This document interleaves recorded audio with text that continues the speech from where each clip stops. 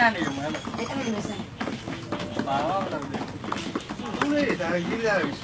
ဒီကအမေကနည်းနည်းမစားဟမ်နည်းနည်းမစားတော့အာရရဒီမှာပါဟုတ်ပြီအာနှိပ်ပညာရတယ်အောက်လက်လုံးပေါင်းနေအမေကတော့လုံးကြီးတဲ့ပတ်သက်နှိပ်နှိပ်ပညာဒီဒီဂီတပညာနဲ့ ဒါပြီနော်ဆိုင်မယ်မိထီလာမျိုးဤ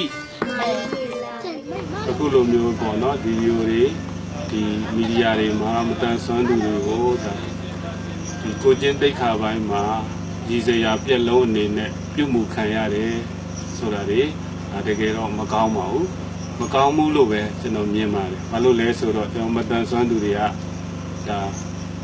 မတန်ဆွမ်းဖြစ်ပေမဲ့လို့လူလောကထဲမှာလူပေါင်းပတ်ဝန်းကျင်ထဲမှာတာမန်လူတွေလိုပဲတန်းတူပေါ့နော်အခွင့်အရေး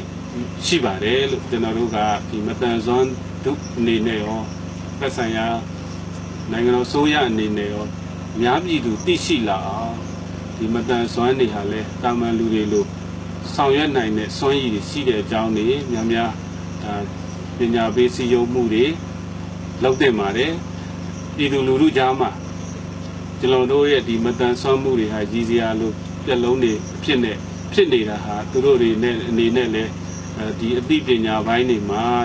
အားနည်းနေတယ်လို့ထင်ပါတယ်ဒီအားနည်းချက်တွေပုံမူပြီးတော့ပျောက်ပြယ်သွားအောင်ပေါ့နော်ကျွန်တော်တို့မတန်ဆွမ်းထုအနေနဲ့လည်းစူးစမ်းသင့်တယ်လို့သက်ဆိုင်ရာဒီနိုင်ငံတော်အစိုးရတွေနဲ့လည်းပူးပေါင်းပြီးဆောင်ရွက်သင့်ပါတယ်အသိပညာတွေများများပေးခြင်းအပြင်ပြည်သူလူထုအားလုံးဟာ